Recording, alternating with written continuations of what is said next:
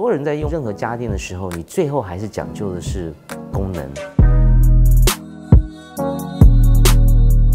半夜的时候，如果你敲一下门，就知道里面放什么东西，可以说是未来冰箱，但现在就可以拥有。洗衣机当然容量是非常重要的，又或者是上下双人洗，我就可以上面洗这个，下面洗那个，节省时间，然后很有效率，也达到我对清洁的要求。电视机，呃，能够再大一点，但是再薄一点，哇，这听起来好像有点矛盾。可是，是不是有人真的做得到？很大很大，画面非常的犀利，但是却很薄。我想这些都是我对电视机的一个新的期待。